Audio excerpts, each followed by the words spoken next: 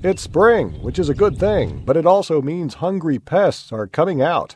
Plant pests and diseases cause a lot of damage and cost a lot of money. Hungry pests cost the United States approximately $120 billion a year. That impacts everything from our food to our health to our environment to our parks to our home landscaping. This year, USDA's Animal and Plant Health Inspection Service is recruiting a special ally in the fight against hungry pests by helping to teach middle school students what they can do. Teachers can download this curriculum for free.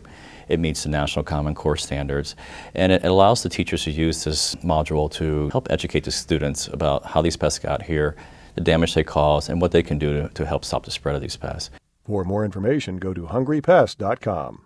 In Washington, for the U.S. Department of Agriculture, I'm Bob Ellison.